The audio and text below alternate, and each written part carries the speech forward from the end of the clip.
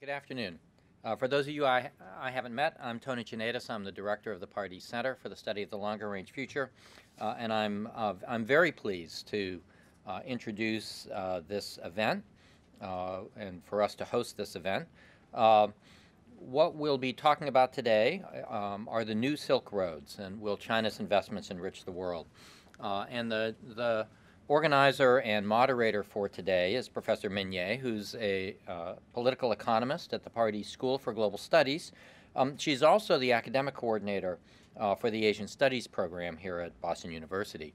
Uh, we're fortunate at the center to count uh, Min amongst our faculty fellows uh, in whom we've made an investment to try to bring interesting and provocative and constructive ideas uh, to life. And uh, so I'm quite confident uh, that uh, today's uh, session will be one of those. And so without any further ado, let me introduce Professor Min Ye, um, who will introduce the panel um, and guide the discussion.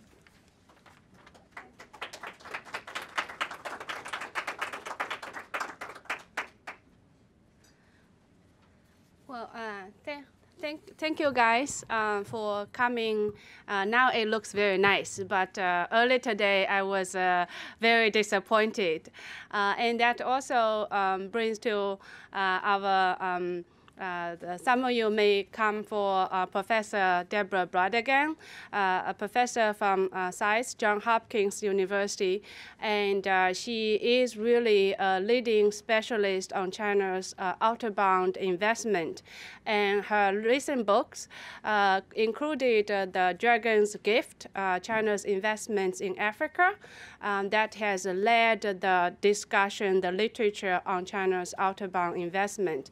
And her new book uh, is uh, uh, on the on the China's investment in agriculture in Africa. so will Africa feed China? The book just came out with Oxford last year. so I was hoping that she will cover some of that. Um, but uh, uh, her plane got uh, delayed, delayed, and delayed. But she did text me uh, before I came here. She the, the plane has uh, taken off, so the chance is uh, she will be here for the last duration of the conference. I know you guys may have to leave early. Uh, feel free to do so. But if you can hang around to the end, uh, then Professor Bräutigam will be here and will will be happy to talk to you. And if you have questions, and this will be a good opportunity to to ask. And uh, uh, I, um, so this session, the conference is called China's New Silk Roads. Um, and uh, I uh, will call your attention uh, to a list of uh, conferences on the same subject, but it's called Old and New Silk Roads in, in Asia. So we have four, but this is the, the biggest event. we have two more to come. Uh, one is on comparative histories along the uh, Silk Roads, and the, the, the last one uh, was on the geography and environmental uh, dimensions of the, the, the, new Silk Roads. So keep uh, what your eyes out for any emails from the Pardee Center or the, uh, the BU uh, Center for the Asian Studies newsletters. And if you just uh, didn't receive any of those, you want to find where they will be held and uh, the logistics, and you just feel free to email me. Um, and uh, before I uh, start to introduce our speakers, uh, I would like, because I tend to forget in the end, so I, I would like to thank our, uh, our uh, speakers, and particularly Professor Qaid, driving in this inclement weather from to here and to share his research. And uh, Professor Julie Klinger, she has uh, lots of obligations and uh, tasks at hand and uh, as, as contributing to our uh, uh, conference today. but last, I really want to thank the staff at the Pardee Center, Cynthia, John, and Teresa, and they are just so efficient. So I shouldn't take credits for the organization they are. And I, I just returned from the International Studies Association conference yesterday. So, so it's a um, thanks to them. You know, we have uh, a wonderful setting and things are, run, are, run so smoothly. Um, Tony, you are very lucky. um, okay, so let's. Uh, uh, I will start our uh, conference uh, by introducing my research uh, on the new Silk Road. Um, but before I do that, um, maybe a brief, very brief introduction of our two speakers. Um, uh, to in the not to the my left, the left, left. Uh, uh, the leftist is uh, Professor Julie Klinger, uh, an assistant professor at the Pardee School of Global Studies and she specializes in development, environment, security, politics in Latin America and China. She is truly uh, expert in both areas, and that's very rare, very, very rare. So we are very lucky to have her at the school, uh, and uh, I look forward to uh, hearing more uh, from her. Dr. Khalid Saeed is a professor at, uh, social, in social science and public policies at uh, Worcester Polytech Institute, director of their System Dynamics program and director of System Dynamics and Innovation Management, Management program. She he received his PhD from MIT in 1981 and then really taught in many places in New England, but also taught in Australia, Sweden, and Pakistan. Uh, and I'm very impressed with, uh, with uh, his expertise. And today he will bring uh, new, the new methods and new program, and hopefully this will enrich our studies on political economy and development issues. And Professor uh, Bräutigam, I just introduced her briefly, but uh, if she comes, then we'll give the floor to her. If she is too late, then, uh, well, at least she will be here. Um, so my, uh, I'll move to my presentation, but I probably need the uh. Also, I'll just click on. Okay, great. I know I'll need lots of help from them. Um, okay, so um, the China's new Silk Road initiative. Uh, I uh, approach this uh, from two dimensions. One is uh, how this new initiative uh, tell us about economic development in the region, and uh, with its implementation, how this will affect the development in the region. And the second dimension that I focus on is uh, how this will impact on regional politics or regional integration. And these two areas uh, happen to be my two uh, uh research areas. Uh, my first book was on the making of Northeast Asia, looking at regional integration, regional politics, regional economic interdependence. And the second book was on uh, diaspora and foreign direct investments in China and India. There I look at uh, uh, uh economic reform, globalization in China and, and India. And my uh, interest in the in China's new Silk Road initiative is I believe this perhaps is the third generation of both trends, development and regional politics. Um, but there are lots of uncertainties, so that's why we are here, and we have a, a lot more dialogues to come in this semester and uh, in the in the next few years. So this is a, a a, not a very good map on China's Silk Roads. Um, it was a, a, little bit dated, uh, but also because the good maps on China's new Silk Roads is just very difficult to, uh, to get. And there's a, a, political reason for it. And I uh, spoke to the, the Chinese um, uh, bureaus in charge of the Silk Roads, and they said we cannot do maps, you know, because it's uh, what do you took where do you put Taiwan, and where do you put this region, that region? It's just uh, you cannot use maps. And uh, I said, well, I'm based in the U.S., I can do whatever I want. so I'll still use maps. Uh, uh, but the um, any publication in China, and then I shouldn't use maps. Um, so that's uh, I, I, think I probably will do use some maps. Uh, it's complicated. Uh, this map just to show very rough, you know, what I am talking about, what this uh, uh, initiative is all about. There, so there are four main things. The first one is uh, uh, the, Silk, uh, the new Silk Road economic belt. Uh, and this one uh, was the was the first announced uh, by the Chinese in September 2013, and this one uh, should be uh, starting in Xi'an uh, on the map in the um, central China. There's an ancient capital Xi'an, so that's the originating site, and then go goes westernward to the uh, western border in Central Asia, and on the way to Central Asia, uh, Kazakhstan, and to Belarus, and then eventually should go all the way to Europe.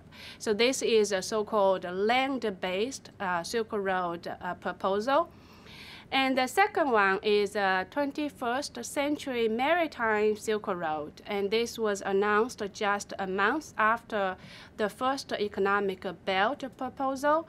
And it was announced in Indonesia by the Chinese president. And it started uh, in Fuzhou, which is a coastal city uh, in China. Uh, uh, along the sea, and all the way down to Indonesia, Jakarta, and then Sri Lanka, then uh, all the way to Kenya in Africa.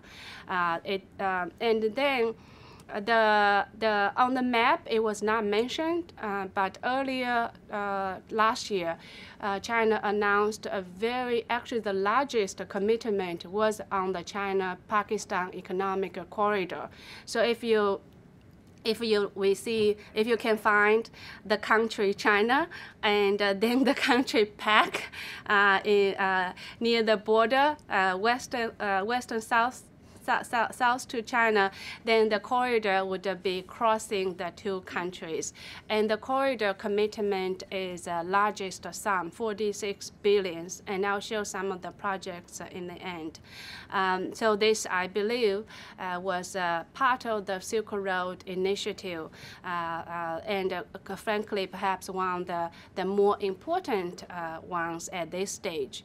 And lastly, to implement these uh, kind of roads uh, ideas, uh, China proposed these investment uh, schemes uh, and institutions the Asian Infrastructure Investment Bank, AIIB, was announced in late 2013, uh, but got uh, um, just uh, uh launched uh, earlier this year. It was a very quick launch, you know, considering the, the countries involved and the fund involved.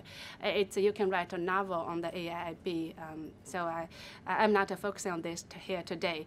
And there are other two, uh, the Silk Road Fund 40 20 billion. Uh, Maritime Silk Road Fund, uh, 20 billion. AIB China committed 100 billion uh, to this fund, and uh, together with uh, with European and Asian countries. Okay, so this is a, a general overview of this. Um, again, I am. Um, academia, so I like to, uh, but you guys can totally ignore this. Uh, but I, I, I, want to say is uh, the Silk Road uh, is important from our uh, academic and uh, policy perspective, is it has lots of debates, you know, the policy debates on its impl uh, implication. So there, there are three main ones. All of them are kind of uh, negative, uh, critical. The first one look at as a global competition by China Um, and uh, the second set look at the initiative as a new wave of colonization by China. And this uh, is based on resources extraction that will lead to lots of environmental cost and uh, eventually making those receiving uh, uh, the countries quite dependent on China. So the dependency is uh, highlighted here. The third one look at China's own uh, state capitalists, the banks, the companies who who are just self-profiting and self-interested. Um, so I leave all the debates in the background. for what I do is to offer a more complete complete uh, analysis uh, on the Silk Roads. So I look at the policy making and uh, I start uh, the, my research on the background uh, from 2001 uh, when China joined the WTO and how, what was the Chinese experience in the WTO as a WTO member and also China's experience in regionalism. But the proximate cause was really the TPP. The, the uh, America's Trans, Trans-Pacific Partnership uh, Initiative. So I, um, the focus of my research is on the policy implementation, how the state actors and how the grassroots globalizers implement uh, these individual projects, individual funds. Uh, essentially, I'm thinking this perhaps uh, continues uh, rather than than than uh, than revolutionarily break the East Asian political economy. So in the East Asian political economy, there was once the so-called flying geese model, uh, starting with Japan to the the the, the latter uh, countries, and then the production network uh, as the second stage of flying geese uh, in the region. And this China's initiative, I, I, I suspect it will be the third or the modified flying geese that reflect the Chinese own political economy and regional politics. Um, so moving uh, ahead, uh, I'll uh, only focus on two things. One is uh, uh, uh, the policy making, uh, which uh, the findings I have published in an article in Asian Security. So if you guys are interested, you, you can uh, find the article easily uh, through the library link, um, the Asian Security. It talks about the ideas and the policy uh, making process uh, behind the new Silk Roads. And the policy implementation, this is a big heavyweight research. So I only have done preliminary work, and uh, uh, here I'll do a little bit reporting. The, this is a, a, chart that I put in the article. so it's looking at the process of uh, the Silk Road policies. It started with a leadership vision in late 2013, and then they built domestic government consensus and then they were promoted internally uh, and externally, and in the end uh, got implemented in uh, late 2014 uh, and all the way to 2015. That was my uh, end point. But um, the, the message is when the U.S. paid attention to this strategy or got aware of this initiative was in November 2014. That's when it already was implementing. So how does the Chinese think about the new Silk Roads. Um, so I, I, I uh, uh, searched the archives on, um, uh, on the Chinese uh, journals, uh, magazines, newspapers, and summarized their, their, their, their divided into the economic and political and security discussions. Um, and there are some significant change over the, over the period. So this is uh, uh, the, the chart that, um, that uh, um, my the research assistant helped me compile. Uh, so the, the, the uh, Chinese investments abroad from 2003 to 2016. So basically, when China announced the Go Global policy, and that's where uh, uh, that, that's uh, the destinations that this uh, investment uh, have gone. Uh, so I divide into the OECD and non-OECD countries because we often think of Chinese investments like to uh, concentrate in the non-OECD, and non-OECD tend to have a different nature versus OECD. So that's uh, generally true. Uh, from 2005 onward, uh, China uh, invested more in the non-OECD countries than OECD countries, but the gap really increased a lot from 2008 to 2013. So the five years, and there are a number of explanations. One is a Chinese own stimulus plan, so they needed to expand uh, abroad. Uh, but the second is really the, the OECD investment environment was terrible. And so OECD investment environment in generally are better than the non-OECD countries, but to Chinese investors, they are not uh, as good. So I look at their perform performance. So OECD investments share uh, of um, these troubled or failed Chinese investments in, in the red line are higher than the than the those successful uh, uh, investment shares. Um, and, and the, when the gap became smaller in the latter part of the period, then the OECD in, uh, uh, sites became more attractive.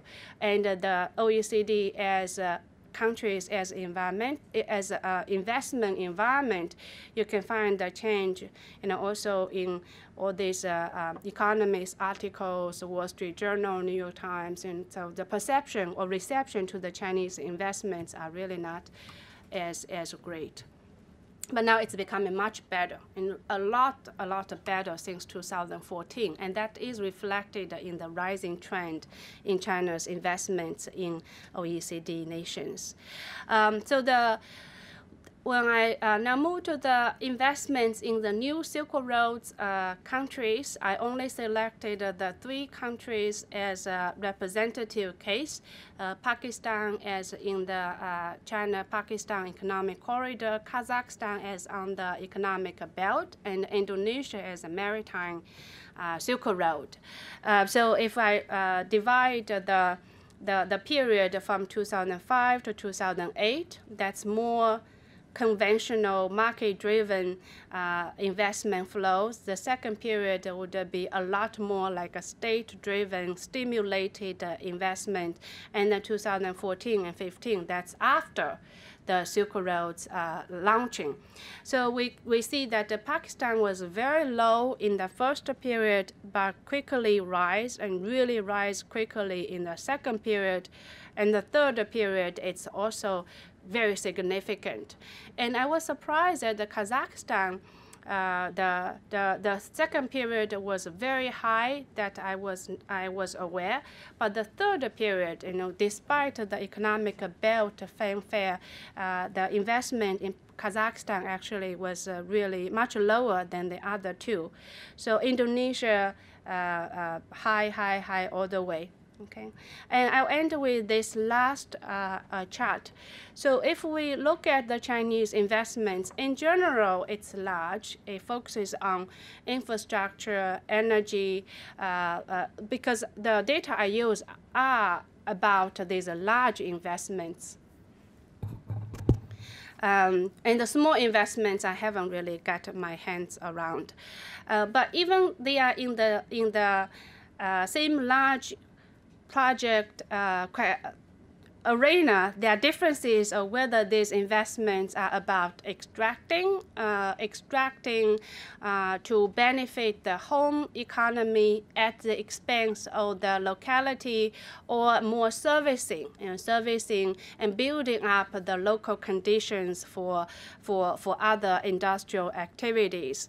So uh, here, the the Pakistan was quite surprising. So Pakistan, uh, among the projects invested in Pakistan, 23 are in energy, but all the uh, most of them, it almost, uh, in, fact, all of them are about infrastructural energy, like a power plant, hydropower, tele, uh, uh, uh, the, coal, which was abundant in Pakistan. So it's more about infrastructural. And 21 is in infrastructure, so telecom um, towers, transportation, real estate, and the manufacturing and other lighter industries, there are three. Uh, Kazakhstan really clear extractive investments, and it's all gas, oil, uh, uh, uh, gas oil, uh, and there's one infrastructure. And the manufacturing all heavy manufacturing industries. Indonesia in between, so the energy, you see the extraction, and you also see these uh, hydropowers, um, coal, uh, coal power plants. Uh, there are 17 in, in infrastructure, in transportation, real estate, and 12 they are in heavy industry. So I, I uh, this it will be very preliminary, but I was encouraged that that, that the Pakistan, uh, the newest trend shows a better trend than the earlier uh, uh, sites. Okay, I'll end here. Thanks. now let, let me turn the the the computer to my colleague, uh, Julia Klinger. Okay. Yeah, come. Mm. I think it is. Yeah.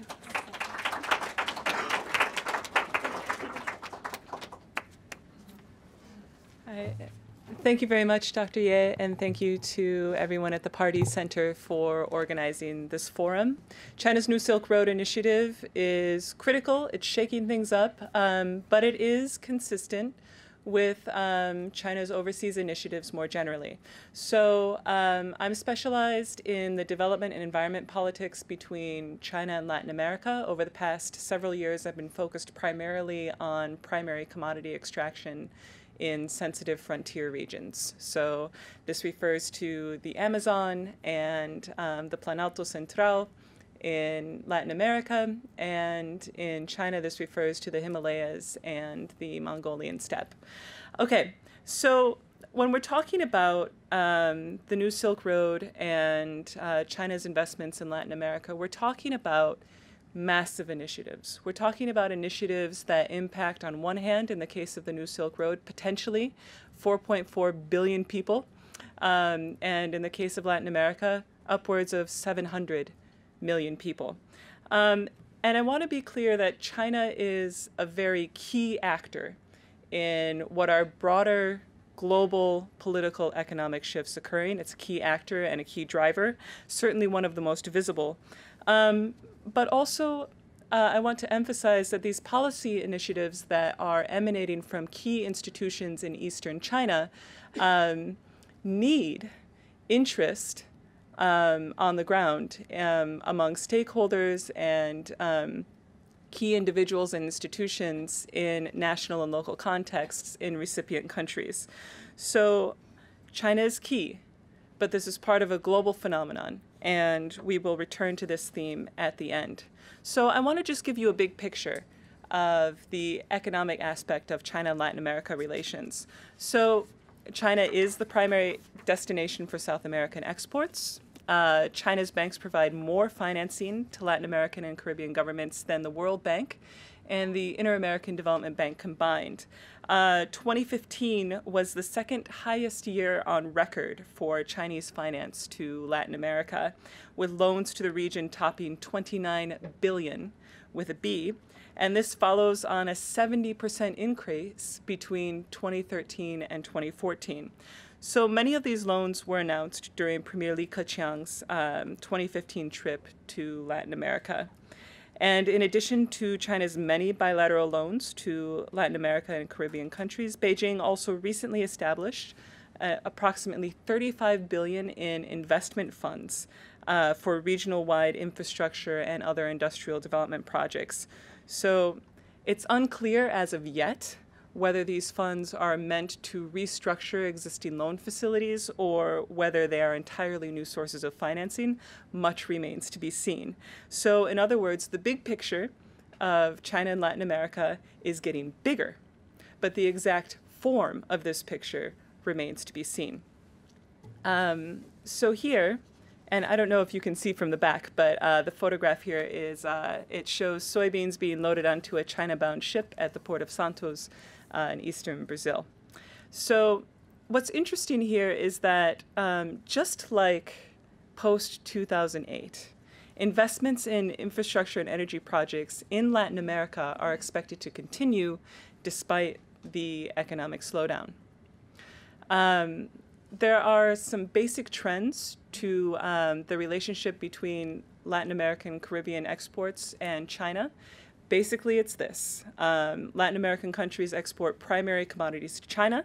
These primary commodities are soybeans, iron ore, copper, and oil. And Latin American and Caribbean countries import value added goods from China. So this means furniture, electronics, that sort of thing. Um, but there's another dimension to this. Um, in addition to um, setting things up for a trade deficit, you also have the fact that um, manufactured goods from Latin American countries are displaced in other markets by goods coming from China. So what's interesting here then is you have um, you have industries in Latin America scrambling in a number of different ways to either compete with exports from China or to somehow hop on that train. Um, and the photograph here, you see Chilean wood traders um, promoting their products at a China International Furniture and Machinery uh, Raw Materials Fair in Guangzhou um, last year. So the idea is if it's not possible to beat China's value added goods, such as furniture, in third party markets, then at least there must be a way to get Latin American primary commodities uh, involved in the production stream. So you see an effort to diversify away from, or in addition to the big four, the big four being soybeans, iron ore, copper, and oil. Um, but this diversification is taking the form of other primary commodities. All right, so let's look at China's financing to Latin America and Caribbean. Uh, what's interesting here is that, you know, just like the New Silk Road Initiative um, and much like uh, China's investment in Africa, you have a focus on extractive and infrastructure sectors. Uh, from 2005 to present, Chinese policy banks financed 40.3 billion in infrastructure projects. So by this, I'm referring to highways, roads, bridges, port facilities, etc., um, as well as many energy projects with infrastructure components. So energy loans, including China's oil-backed lending to Venezuela through the China-Venezuela Joint Fund, accounted for 70.2 billion of overall Chinese finance in Latin America last year. Now, China's financing to Latin America is a really important source of capital for countries with weaker access to global capital markets for political, economic, or political economic reasons, such as Venezuela and Ecuador.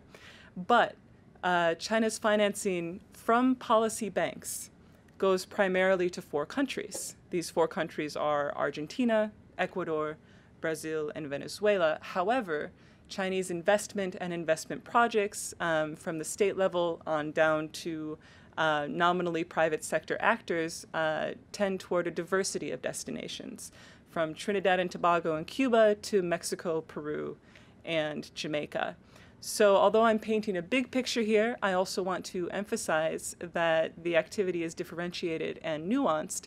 And in fact, um, one of my recent subjects of study and publication has been how China's engagement with Latin America is increasingly less visible from the national scale. If you want to understand what is going on, you have to look at smaller scale, uh, company to company, local governments, um, local organizations and their engagements between Latin American countries and China in order to get a sense of the full dynamism of what is happening. So that's just to underscore the point that this is not simply something that is unilaterally being imposed on Latin America, but in fact there's a real interest and desire among key stakeholders in Latin America to attract certain forms of investment from China. Um, but all of this is complicated by the fact that um, China's commercial and policy banks do not regularly publish uh, data on their financial activities. So putting things together relies on a whole host of efforts, uh, most prominent of which is the that by the Global Economic Governance Initiative and the Inter-American Dialogue uh, to establish a uh, publicly available database of China's loans and financing to Latin America.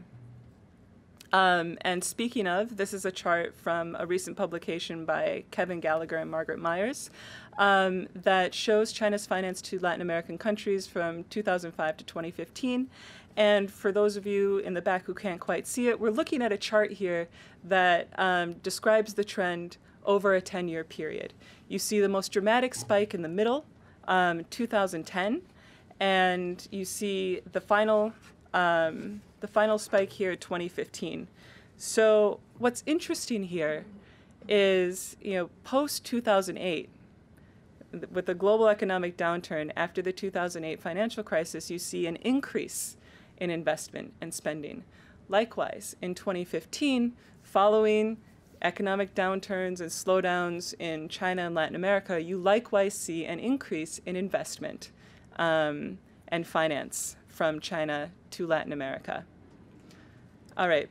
Um, and then another dimension here I'd like to emphasize are the infrastructure and energy projects. So there's some interesting trends here. Um, in 2013, China's investment in Latin America spiked.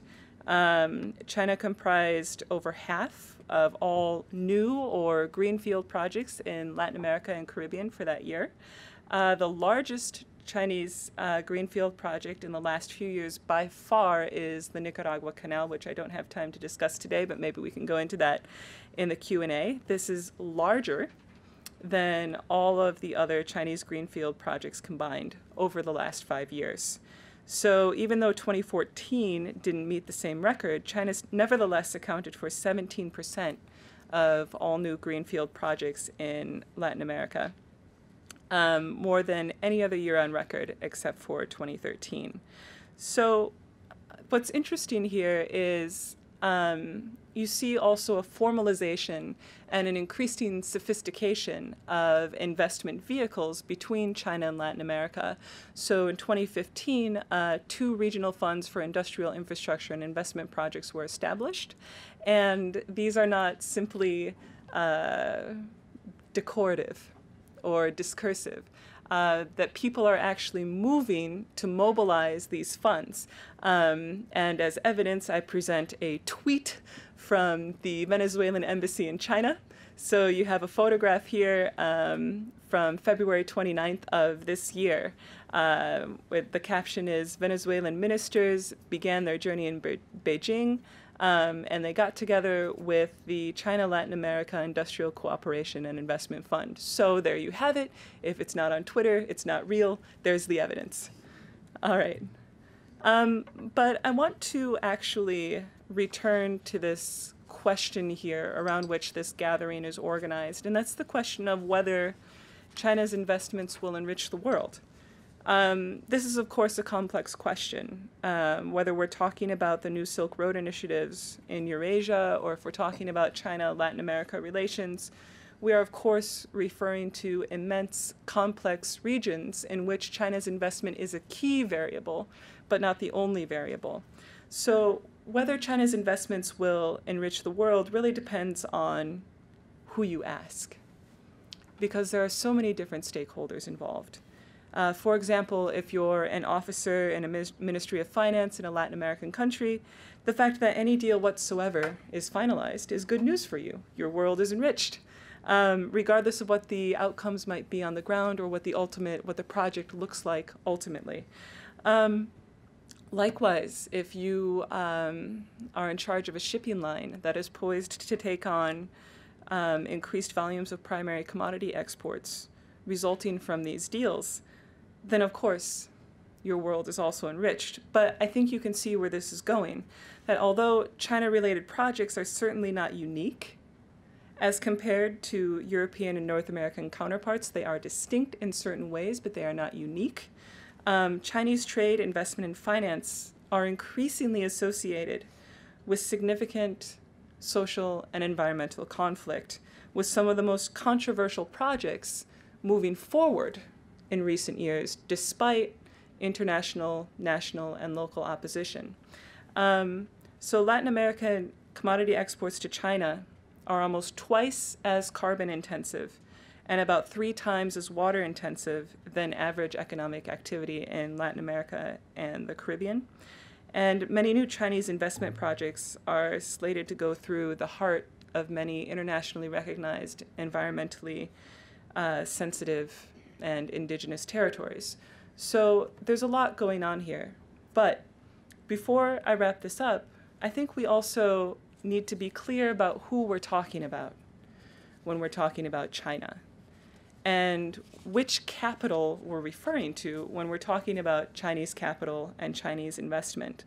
Um, and this is where the global dimension really comes in. Um, we need to ask how Chinese are China's investments? Um, particularly in light of the fact that on lending is a principal part of China's policy banks' portfolios. So, on lending refers to the practice where an institution borrows funds from another institution and then turns around and lends those funds to its own clients. Um, the China Export and Import Bank, in particular, receives funds from 23 countries and five international financial institutions. Now, it's difficult to find data on the precise volume of um, on lending as part of the China Export and Import Bank's portfolio. But as an example, in 2006, um, Chexim reported that 42% of its overseas projects, of its overseas loans, consisted of on lending. So we're talking about on lending, and we're talking about um, the cosmopolitan character, really, of Chinese capital. Um, who's involved? Who are the stakeholders here? It's quite a few. So I invite you to squint, but I will also read the names out loud here. So, uh, China's policy banks receive capital from Japan, Germany, Israel, the Netherlands, Austria, Spain, France, Portugal, Italy, Sweden, Poland, Australia, Norway, Finland, Denmark, Kuwait, Korea, Saudi Arabia, Switzerland, Luxembourg, Canada, the UK, and Belgium. This is as of March 2016 published by China's Export and Import Bank, and also um, it partners with the World Bank, the Nordic Investment Bank, the Nordic Investment Fund, the European Investment Bank, and the United States Export and Import Bank. So, what is the significance of this? I think this is really important to demonstrate the transnational character of the capital emanating from eastern China. Um, despite diplomatic criticisms or tensions that may result from um, European or US criticisms of Chinese actions with respect to the New Silk Road or its investment in Latin America, it's important to note that there are certain actors in each of these countries who have a very real stake in these loans bearing fruit and receiving a return on investment. Under such an arrangement, China's institutions assume the greater part of the risk in embarking on new extractive ventures overseas, from which parties in other parts of the world stand to benefit in terms of access to new streams of primary commodities and the penetration of new export markets. So, this is key. This is key because although we're talking about China as a key actor and we're talking about um, how these various investment initiatives are transforming global power, are transforming uh, China's regional and global influence, we also need to be clear on the fact that many of these initiatives, regardless of their environmental and social impacts, are great for business. And they're not just great for business, um, businesses in China, they're great for international business. Um, so, to return to our final question here will China's investments enrich the world? I think the answer is yes for some and no for others but that the outcomes are not at all predetermined, that um, the behavior of Chinese firms in Latin America over the past 10 years alone shows an increasing sophistication and sensitivity uh, for environmental and social concerns alongside continuing problems. All of that to say that there's tremendous transformative potential in all of this. And if we're truly interested in doing things better, working with China, which I think we ought to be, uh, then we need to check our assumptions about given winners and losers, and we need to look very closely at who the actors actually are in these initiatives. Right, thank you.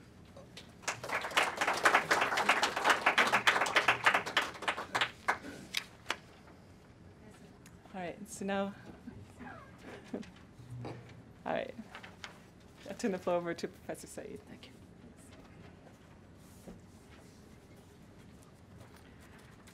I'm not a, an expert on China, but I have been to China many times and have worked with a lot of Chinese colleagues in Chinese universities. Uh, I'm also not an expert on Silk Roads and uh, on Pakistan, uh, but I grew up there and I know what the Silk Road is. And uh, it's, a, it's a parable of sorts based on a real some real roots where silk trade occur, but now we use that more as a metaphor. And I work on creating metaphors, theoretical metaphors that are widely applicable. And uh, I thought this was an interesting metaphor. And it also blended well with another metaphor that I'm going to share with you. And that also comes from China. It's called the dynastic cycle. So let's move on.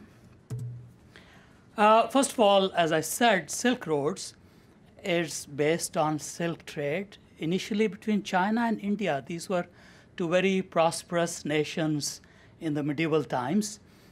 And uh, the silk trade created considerable economic impact along those routes.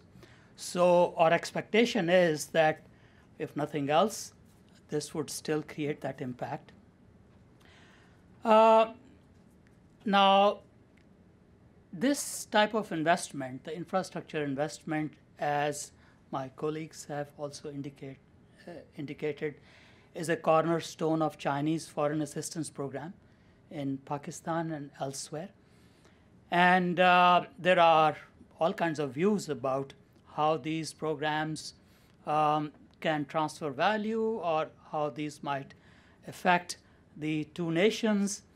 Uh, but I'll take a, a, a, tree view rather than, uh, uh, sorry, a, a, forest view rather than a tree view and uh, view the, the scenario from a distance to understand where the investment is occurring, what is the structure of the political economies where this investment is occurring, and where it's taking us. Now, the, as far as the foreign assistance is concerned, uh, there might be other categories, but um, um, I tried to place them in, in these categories. And there's military assistance, and I guess a lot of uh, our U.S. foreign aid is, is falls in that category. Some of the Chinese foreign aid also uh, falls in that category. There is law and order assistance. Uh, we might send out trainers to, to train um, the, in the recipient country people who would, will help with the law and order. There is direct NGO and other group in assistance, sometimes uh, uh, an assistance to an insurgent group who might overthrow an oppressive regime uh, makes sense, and that has also happened uh, under the foreign assistance programs. There is direct investment, there is infrastructure investment, there is investment in social services. So these are the broad categories. There might be some more detail out there that I've not included in my list. now, um, let me um, step back a little bit and uh, talk about the field that I work in. This is system dynamics. And system dynamics is a discipline that is, I can I can freely say, more dismal than economics. Now, Professor Keynes did say, in the long run, we are all dead, so let's not worry about it. But system dynamicists worry about the long run only. And we worry about the unintended consequences, which are usually bad. So we talk about bad things, and we worry about the long run. Uh, long run is important because, well, even if we are all dead, our children are there. So we worry about the long run too. And um, most of our theory building, modeling efforts are based on uncovering what we do not see. So, a lot of the policy paradigms depend on what's visible. If there is poverty, give someone assistance. If there is infrastructure needed, build infrastructure. If someone is hungry, give food. Uh, so that's the, the box on the top on my diagram here, which is the visible system, which invokes most of the common sense policy paradigms. But underneath the visible system is the latent, what I call the latent structure. That's, that's what we try to uncover. And that latent structure creates a resilience. You build infrastructure, you build a Silk Road, and the impact is not what you expect it to be. And what is it that is holding it back?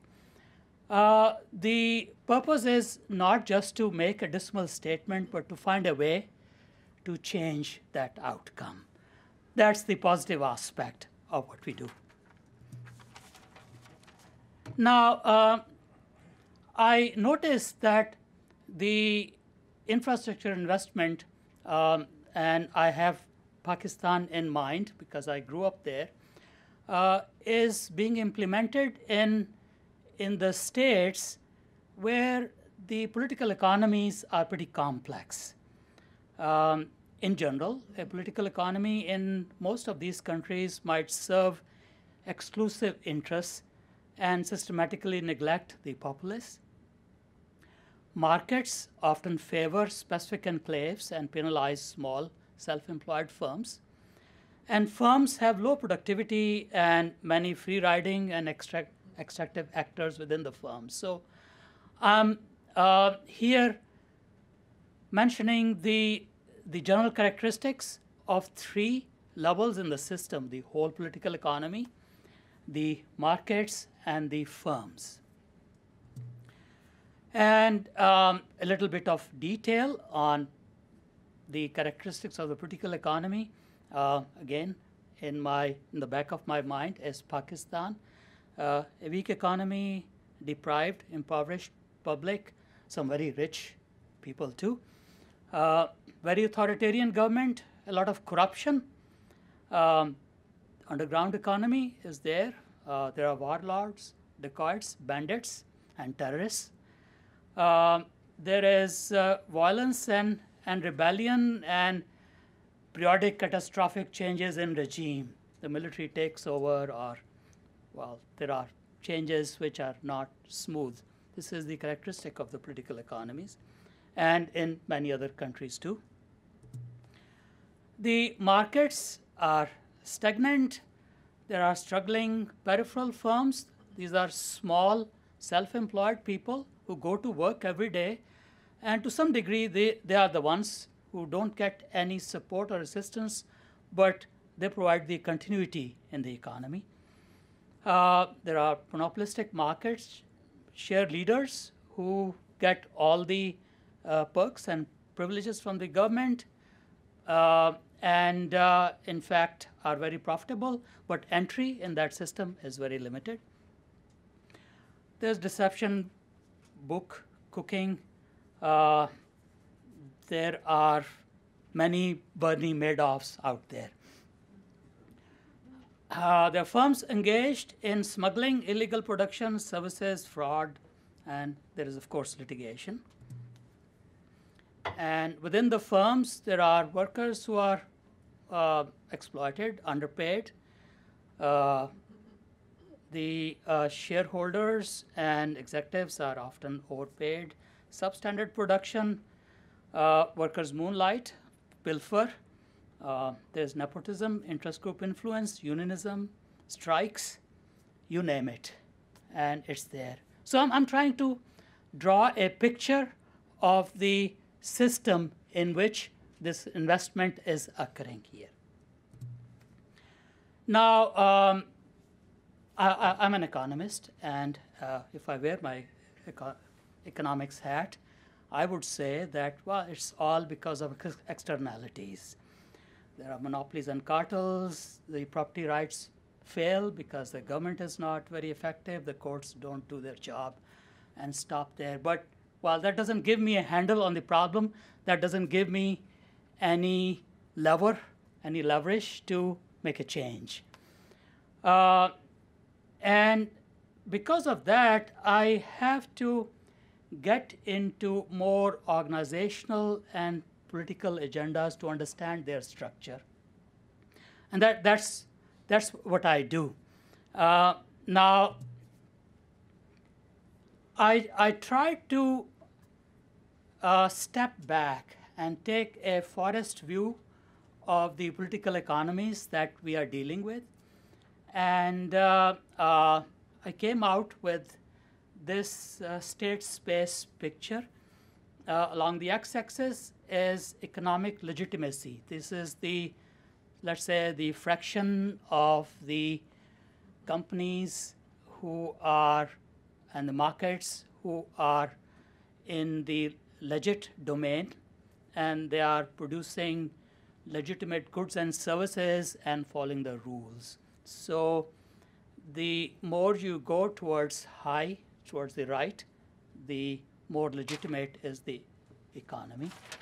Uh, so uh, th this is an interesting departure from economics, econo aggregate economic models already, in which the assumption is that all firms are operating as rational actors and all resources are optimally employed, and that's not true. So this axis gives a picture of what type of production organization exists out there.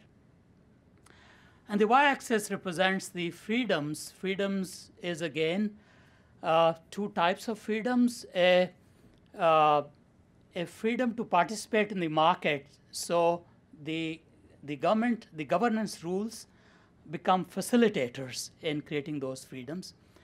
Uh, the freedoms can also be usurped by the insurgent bandit groups.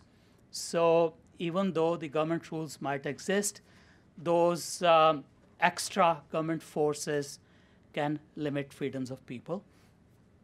And the combination of these two indicators, uh, I try to think would create a multiplicity of scenarios. Uh, on the lower left-hand corner is a failed state scenario, and the upper right-hand corner is uh, really a, a, democratic people power scenario. Uh, mind you, I described three types of organizations, the political economy, the markets and the firms, and these scenario can exist at all levels. And of course, there is authoritarian rule and, and bandit rule. These are other scenarios now. The, the issue is that, well, if I go back to that, that slide, where a political economy or a market is located, that's one question. And uh, uh, the second question is, uh, how does it arrive there? And if you want to change, what is the path of change? Now, the first question is to some degree uh, answered by Acemoglu and Robinson. I think many of you might have seen their voluminous work, Why Nations Fail. Um, I, um, i benefited great, uh, greatly from reading it, but I would like personally to focus not on how on the failure, but on the success. So perhaps there's an opportunity to learn from the failure and find a recipe for success. Here's an example of a, of a path of change. Um, a, a particular uh, economy might exist, say, at this point, and uh, uh, you exogenously reduce a change, and I'll, I'll go over it uh, briefly and here is a path it's taken, and that's the new equilibrium, which is which is called homeostasis. And it seems that uh, multiple points of origin might create paths to the same end uh, sometimes, and I'd like to demonstrate that with, with a live model. Any economic interventions and policies, like uh, the Silk Roads itself, might also create changes in that system. And those changes can be benign as well as uh, uh, sort of negative here. It can take the system to a worse condition or a better condition. And if you understand what creates a better condition, we can devise an intervention in a better way. Now, uh, my inspiration comes, as I said, from another Chinese uh, uh, parable, and that's called dynastic cycle.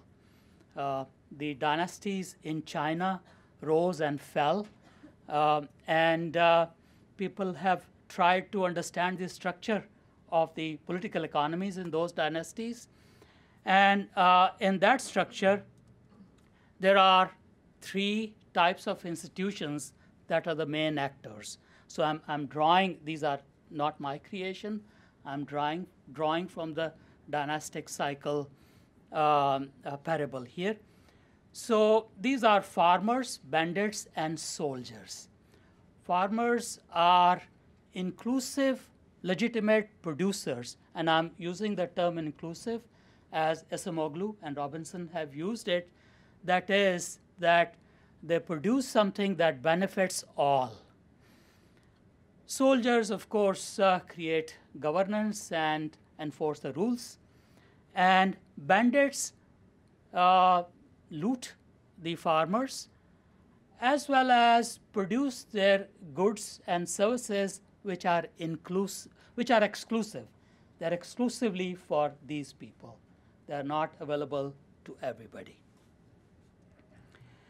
And uh, here is a, a map, a system map, a simplified model which perhaps we can use to understand the problem. It's a, it's a mental model.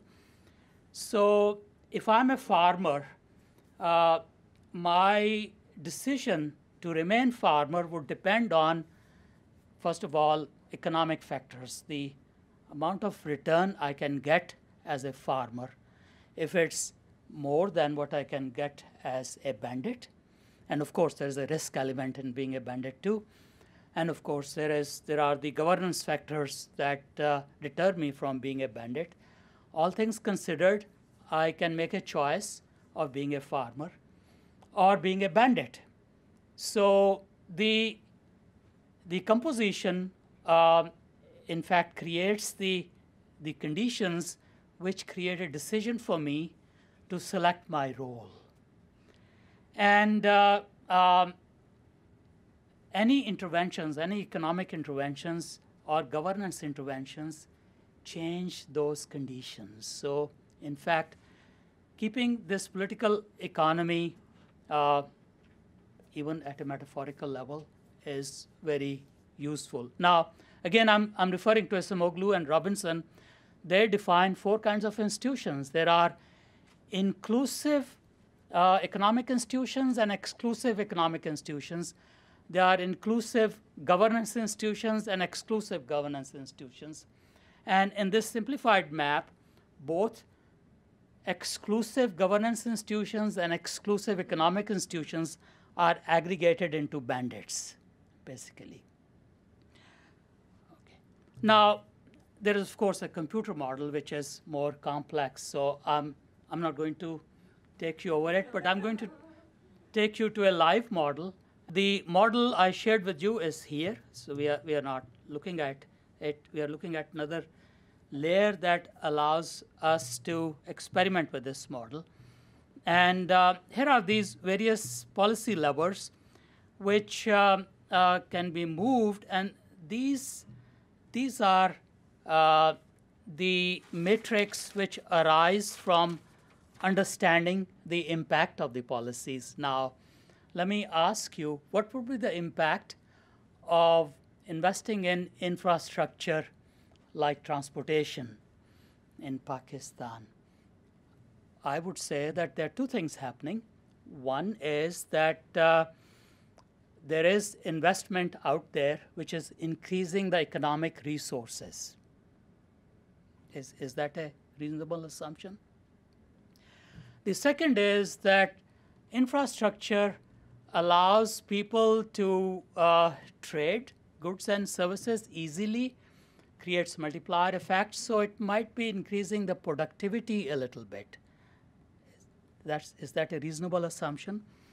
So if I um, make these two assumptions here, and I have here uh, a lever which is, say, increase farmer productivity.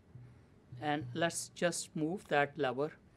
And I noticed that, in fact, we started here and implemented a policy of increasing productivity and the system moves, comes to a new homeostasis uh, in this quadrant, which is really a healthy quadrant. So that's not such a bad outcome. Uh, if I increase the resources, because, well, it also increases economic resources, and I move this lever and simulate again, and I notice that the impact is even larger. So, in fact, I'm, I don't feel very dismal about the investment in infrastructure from these experiments. And again, uh, I might not have too much time to explain why this happens. This is very important. But uh, if you send me an email, I'll send you two articles in which it's discussed in detail. Uh, one appeared in Journal of Operations Research. It's more uh, uh of a math math mathematical uh, format. The other appeared in System Dynamics Review, uh, which is more related to policy, and I'll be happy to send these out. Now, while we are still there, uh, there are some other levers which are quite interesting.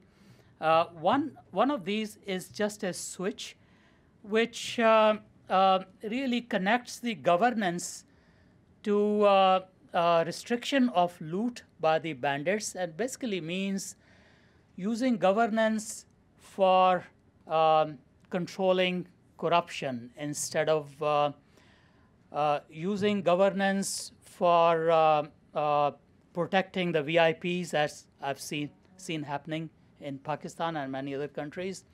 Uh, by some estimates, about 40 to 60 percent of the police force is used just to protect the VIPs um, and not protect the public. So if uh, I redeploy the use of uh, the governance, say the police force, by flipping this, this lever here, uh, I, I noticed that it further helps moving to a healthy quadrant a little bit. Uh, there are other, other things, um, like if I uh, provide external assistance for law and order, uh, and then simulate. And interestingly, this helps too. So uh, just building infrastructure might help a little bit, but there are some hygienes which might help further. And uh, then there are levers which can allow you to test policies like providing military assistance or uh, uh assisting some insurgents groups. And we can evaluate the impact of such interventions also. So my conclusion is that economic interventions into, into these strange, complex ec political economies may create unexpected results. Uh, these are, in, in the literature, these such states are sometimes called arbitrary states. I, uh, I'm not sure if I want to use that term, but for lack of any other term, that's what I have identified them as. But a combination of interventions can be identified for creating successful outcomes. And um, I've been working on other parables. i am fascinated by what sort of policy paradigms exist based on what's visible and how they ignore the invisible part. And so I've identified about a dozen or so policy paradigms, but this represents work in progress, and I hope I'll be able to uh, have it out sometime. A, a very pre preliminary uh, working paper is out, and I'll be happy to send that out if someone wants that. Finally, here's a quiz after my talk. Uh, here's a picture of the Islamabad metro bus system. It's a, it's a beautiful bus system which has newly been created. Some people call it a white elephant. Others think it's a Silk Road. Uh, make up your mind. Thank you.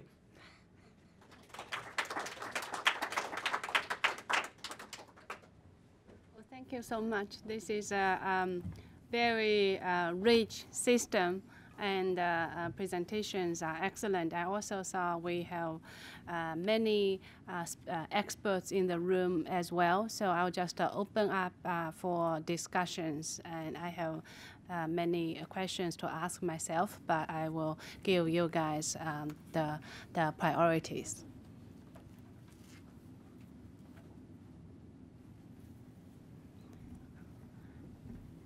And please uh, identify yourself.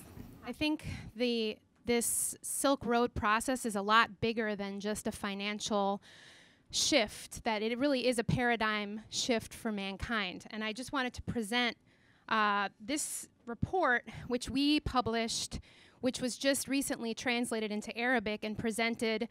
Uh, by the Egyptian Transportation Ministry and also translated recently into Chinese, which is now being circulated throughout China. Um, the point I wanted to make and the question I have is that look, the United States is collapsing. The transatlantic system is collapsing. Our financial system is bankrupt. The United States people are dying. You have a 3% increase in deaths among Americans just in the last eight years. And I think it's of utmost necessity that the United States be part of this new Silk Road process, not as a financial or business model, but as a necessity for mankind to move forward. And one other point I'll make on this, and I'd like to see your thoughts, is this, the space program. The fact that China is actually moving with a comprehensive space program. They intend to land on the far side of the moon by 2020. This is revolution. The United States hasn't gone into, you know, we, we've shut down our manned space program. So I think there's a necessity here to really fight for a systematic change in the United States. It means dumping Wall Street. We can't have a functioning economic system as long as we're bailing out Wall Street with helicopter money. So I wanted to see what the speakers thought. Is how can we get this shift in the United States to be part of this new paradigm? Thank you. Uh, may I? Yeah. Uh, I, I think that's a very good question. First of all, I, I'd like to say that United States is a market economy. Most of the investment here is done by, by people, by entrepreneurs. And uh, the infrastructure investment is, um, is state-led investment. There are heavy sunk costs, so it's sometimes not difficult for private entrepreneurs to um, uh, engage in infrastructure investment, al- although things are changing. We have some really, really very rich entrepreneurs who can do the in- infrastructure investment.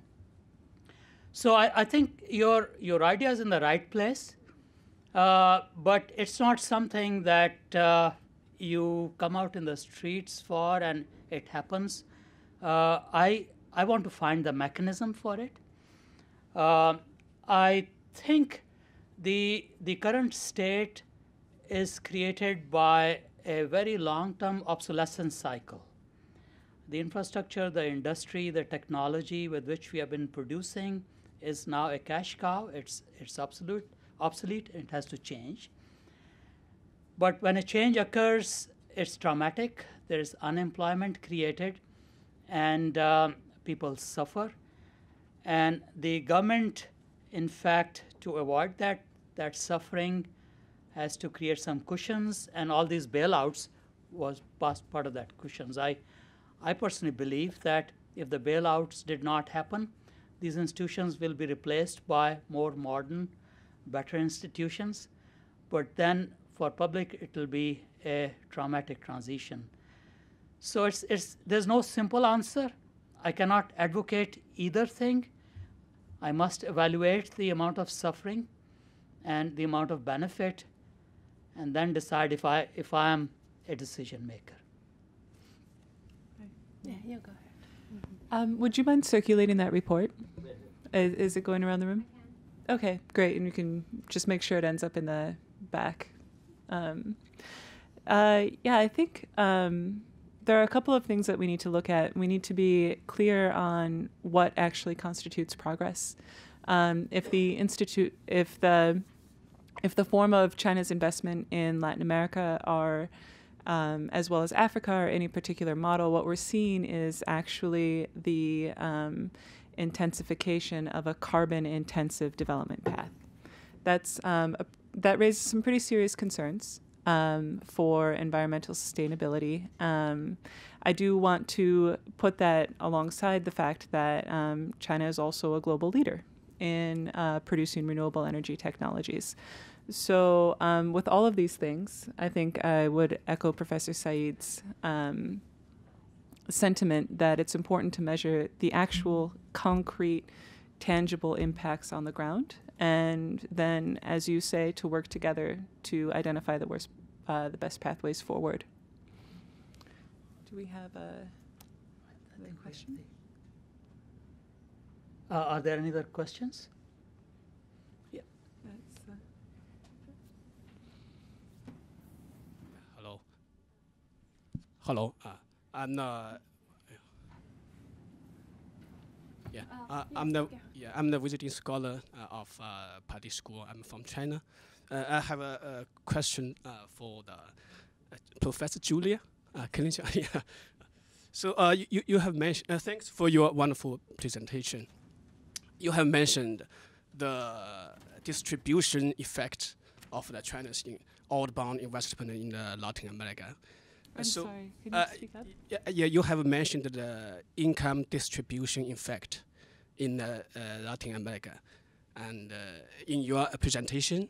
So, uh, my, my question is, I think it's every international economic transactions has has such kind of effects, uh, not only investment but also trade, and uh, China also, you know, uh, every year we inject uh, uh, uh, absorbed, uh, I think it's more than 100 billion FDI. And also we have such kind of effects. But overall, China, you know, the FDI in China is a very important driving, driving force in China's economic development.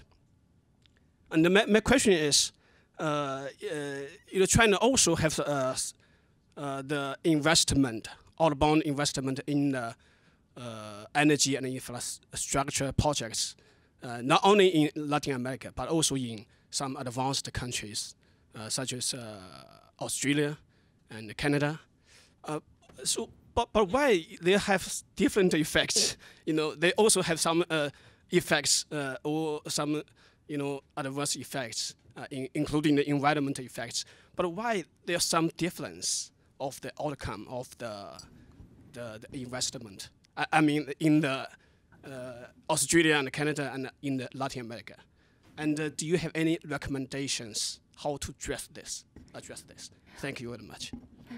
Well, uh, uh, thanks uh, to Dr. Xu for uh, wonderful and long questions. I think I'll just give Professor Klinger a minute to to uh, think about the answers.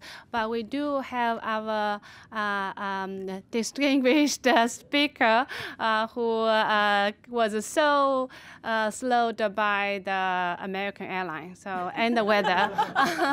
um, but we really appreciate your coming. So let's give her applause, and then she will speak. Okay, thank you. Thank you very much, and uh, thanks to Min for inviting me here. And I am sorry about the delay. I sat on a plane for more than two hours in National Airport. It was not due to the weather, actually. It was a mechanical problem with the plane. Once they got us on, uh, they wouldn't let us off. So, and they kept saying, "Yes, it's going to be going. It's going to be going." Anyway. Uh, I'm sure that you've already had a good overview, although I don't know what the other people talked about. So I'm going to go very quickly through the overview part of my presentation and uh, problems with the data because I hope just nod. That's already been covered, like problems with FDI data. You you don't need anything more on that. So I was going to talk about China's restructuring, and since the uh, point of this whole symposium is about how is China's outward uh, FDI going to affect other countries. I want to talk about a very specific area in Africa, which is how might China's restructuring and its overseas FDI affect manufacturing prospects in Africa? Because this is one of the real challenges for Africa is to move up the value chain and to start really for most countries on a process of structural transformation that is way behind other parts of the world that we are hearing, well, no doubt you've heard about here. So uh, China's own restructuring, as you can see, as you know, has been going on. I won't um, belabor this, but um, you can see in this particular uh, graph here, this is a slowdown in the rate of growth of trade. And so the trade, only in 2009 did it dip into really negative territory. But what this shows is that China's demand from the early part of uh, 10 years ago, the early part of, of this past 10 year period, was growing at 40% a year uh, for trade for both exports to Africa and imports from Africa. But this has been slowing a lot. And yet there still are opportunities. And I'll go through this, um, the FDI picture that uh, just to say that we don't have a really good idea of what's happening in Africa because the MOFCOM data is not very good. And other people have tried to put data together, but this is a huge variation. So the Financial Times says it plunged 84%. Deloitte said it's up 360%. MOFCOM says down by 45%, and so on. So it's really difficult uh, to do this. Even Derek Scissors, who looks at the China Investment Tracker, when I look at his tracking of projects in Africa, I also have a lot of qualms about this. For example, look at 2013 when he said there were $21 billion worth of, of FDI projects signed in Africa. Um, and this is just FDI, not other kinds of, of projects, as opposed to MOFCOM, which said 3.37 billion. So this is a huge variation. And a lot of those signed projects will never happen. And so, okay, we're just going to go quickly through this. So the focus will be on manufacturing. And as we know from the Chinese uh, data at least, a significant amount of investment in Africa is in manufacturing about 15%. Now, I haven't been able to determine yet, maybe somebody knows this, but I believe that refinery investments should count as manufacturing. I'm not sure if they do. They might still be under mining, which is the largest sector here. Um, and there are just, I believe, two refinery, large refinery, oil refinery investments, and the rest of the investments are in more traditional kinds of manufacturing. And so according to MOFCOM's figures, the stock of manufacturing in 2012 was 3.4 billion in Africa. And so what we're trying to do in a project that we have at Johns Hopkins at the School of Advanced International Studies at the China Africa Research Initiative, generously funded by DFID, is to try to find out what is actually happening in Chinese manufacturing investment, how much is actually going on as opposed to what we can see in, in these databases, and what kinds of skill transfer and technology transfer are happening? What kinds of spin-offs and diffusion have there been, if any? And so what we did was we first got the MOFCOM investment data on a project by project basis. And from that, we were able to determine that these were the countries that by the end of 2014 had the largest number of approved investments in something where the investor said they wanted to go into manufacturing. Now, what we're finding is that there's a huge uh, gap between what the investor says they're going to do and when MOFCOM signs off and approves this investment and what they actually do when they get into country. Because a lot of investors say they want to go into manufacturing in order to get incentives of various kinds and in order to get in uh, the door in the host country because host countries welcome manufacturing investment. They're not so welcoming to people who just want to do trading and who want to bring in Chinese um, colleagues to do that. If you're a manufacturing investor, you can usually bring in five, maybe more uh, personnel with you. And so that's a favored um, thing to say you want to do manufacturing. So what we're finding, for example, in Nigeria, out of 128 projects that were um, said to be manufacturing on the MOFCOM data, we were able to only find about a third of those. Uh, and some of those hadn't even started yet, but there were only about a third when we went to Nigeria. So the second part of the research is actually going to the countries and trying to track these manufacturing investments down. And that's hard to do. MOFCOM doesn't have addresses for them or phone numbers. Uh, sometimes they don't have locations where they are in that country. So you have to partner with the investment promotion offices in those countries to get lists from them. And then you have to try to match up from those lists and then do snowball uh, interviewing to try to track down as many as we can. And so in the first stage of this in Nigeria, Ethiopia, Ghana, and Tanzania. Um, and I can tell you more about that if you want. But we have right now just a general scoping um, study of what the, the investors are doing. Some of you will be familiar with this flying geese model, which comes from Japanese, um, it comes from Kaname Akamatsu, his uh, analysis of how Japan moved out into Southeast Asia as a goose leading other geese uh, in different kinds of sectors, so that in the textile sector, the first ones to go abroad will be those that just do garment assembly. And then later on, those that weave the textile machines, and later on, those that actually put sewing machines together or manufacture those, those will all move out progressively as labor costs rise. So what are the, what, what is coming to Africa? And I know colleagues like Justin Lin at, at Peking University are really quite optimistic about these flying geese moving to Africa because wages there are quite low compared to, to China and costs are, are also low compared to China these days, at least Eastern China. Well, we aren't finding very many of these flying geese, the traditional ones, coming to Africa yet. Instead, we're see, seeing the goose seeking raw materials. We're seeing these vertically integrated geese that are, are finding it useful to set up a whole lot of different subsidiaries right in one place. Small geese traveling together, and then strategic geese looking for local markets, not so much for export. And so I'll give you a few pictures of these. The goose seeking raw materials, this is China Overseas Tannery in Ethiopia. So they have a big manufacturing investment in which they are uh, taking Ethiopia's really high value um, skins and uh, goat and cattle skins. These are goats and sheep skins actually, and they're tanning it, and then they're exporting those tanned uh, that tanned leather to China without doing any other value added. Originally, they said they were going to make gloves, but they haven't done that yet. So basically, they're adding value to local raw materials. The vertically integrated goose here is China Non-Ferrous Metals in Zambia, and what they have is a mine, and then they have a number of ancillary operations, including uh, some kinds of copper products, smelters, and so on, to um, process the copper. So that's a vertically integrated goose. Some of the oil uh, operations would fit into that category as well. The geese traveling and settling together, I have a picture of plastic waste here. This comes from Ghana, and what we're finding is that there are Chinese entrepreneurs coming who are not big state-owned enterprises. They're basically single entrepreneurs that come to see what they can do to make money. And one of the things that they're doing in a number of countries is they're actually doing plastic recycling.